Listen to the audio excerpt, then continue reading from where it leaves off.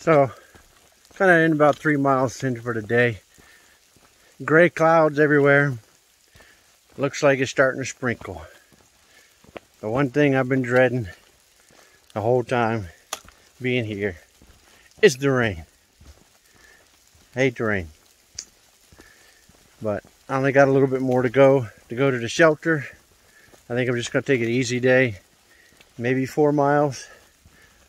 I'll judge that when I get to the shelter. Because I think the next shelter is like seven miles from that one.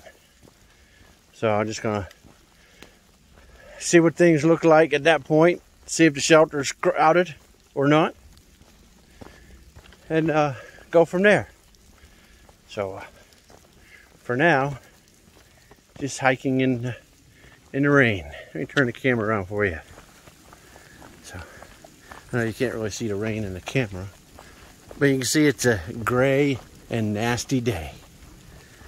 Luckily the temp ain't too uh, too cold. I think it's I'm still sweating. You get nice places like this where the trees kind of create a tunnel as they call it a green tunnel. Gives you a little break from some of the raindrops hitting you. But luckily it's not heavy right now. So, alrighty, I will check back in here in a little bit. Bye. Alright, so made it up to North Carolina. There's a sign talking about North Carolina, Georgia. I almost went right on past it. But luckily, I guess the big rocks up there. Got looking around. There's a path. And that got me looking around. And sure enough, I saw it. Would have almost passed that thing. But now I'm in North, or North Carolina, out of Georgia. That's one down. Talk to you later.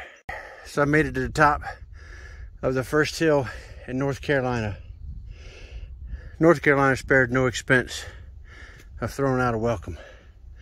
Them motherfuckers had you climb about 800 feet, give or take, in less than a half an a half mile. That fucker kicked my ass. I can't even speak. Whew. Welcome to North Carolina. Fuck.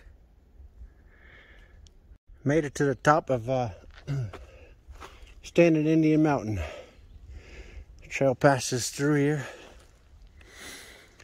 I gotta get ready to head on down. Hopefully find a shelter about two miles or so. I think it should be pretty much downhill from here after this big climb. I don't know, this got to be close to the 5,000 or greater in elevation, I'm not sure.